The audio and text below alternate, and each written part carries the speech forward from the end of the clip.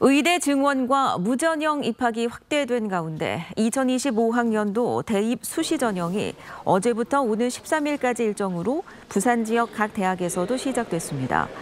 부울경 지역 6개 의대는 기존 정원에서 252명이 늘어난 711명의 신입생을 수시로 모집하며 대학별로는 부산대가 38명 늘어난 163명, 인제대와 고신대 동아대는 각각 7명, 24명, 51명 증원에 정원 100명을 확정했습니다.